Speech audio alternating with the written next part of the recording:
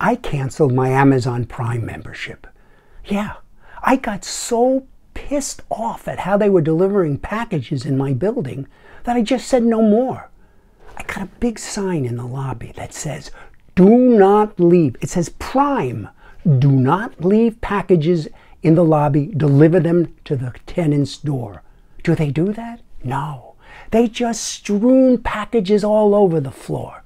I saw a lady almost trip and knock her head trying to get to the mailbox because there were so many packages.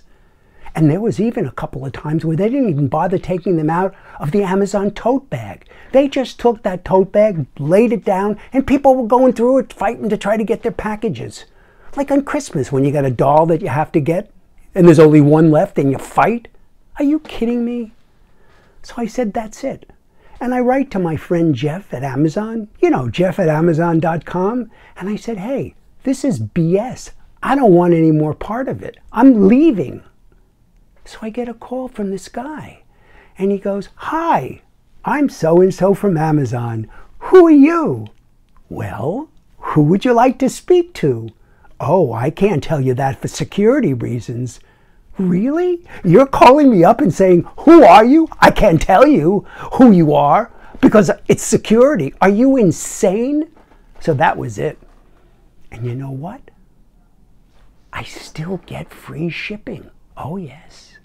I have to spend $35 to get it, but that's not that hard.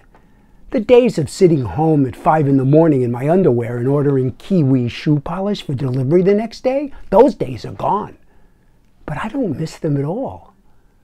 And they were going to raise my rate. Yeah, if I wanted Amazon Prime Video without commercials, three, four bucks more a month. Really? I don't need you. I mean, look, I, I, I miss some of the shows. I'll miss uh, I'll miss Reacher. I'll miss Bosch. You know those kinds of things. But I'm not going back. No, not unless I get some mega coupon for 25, 30, 50, 100% off the membership. You know, there's life after Amazon Prime.